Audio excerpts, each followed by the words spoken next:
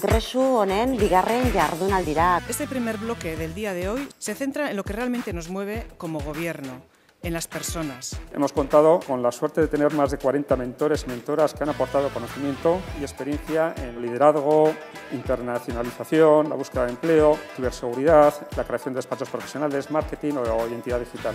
Eh, mentorizamos un grupo eh, cuyo objetivo es el de apoyar y retar a los profesionales a iniciar un proceso de autoaprendizaje que les permita maximizar su potencial. Es útil siempre que haya alguien con necesidad y disposición de crecer, mejorar y ampliar su mirada y campo de acción. Estoy convencido de la potencialidad de la disciplina del mentoring y de la capacidad de adaptarse a todo tipo de áreas de negocio de gestión y a todas las profesiones. No es como tenemos que ser inclusivos porque es bonito, sino en esta situación de crisis no podemos dejar a nadie fuera, necesitamos el talento de todos y las mujeres suponemos una fuente de talento hasta ahora poco utilizada. La conciliación es beneficiosa para las familias, pero también para las empresas.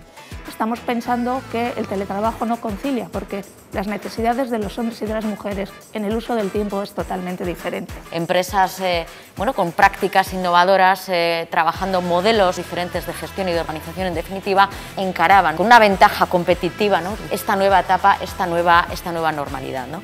Las familias monoparentales que más de un 80% son gestionadas por mujeres. ¿Cuántas empleadas son ahora mismo madres solteras que no tienen ninguna red de apoyo y no estamos instrumentando medidas que realmente nos permitan generarles un apoyo dentro de nuestras organizaciones?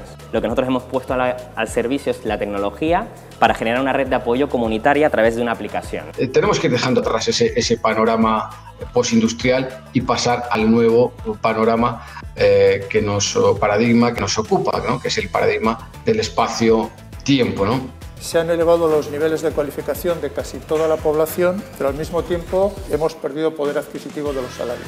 La precariedad y la temporalidad están menoscabando algunos de los pilares en los que se sostiene todo el sistema. Empoderemos a nuestra población con una renta básica universal, incondicional, para que realmente estuviésemos en una clave positiva.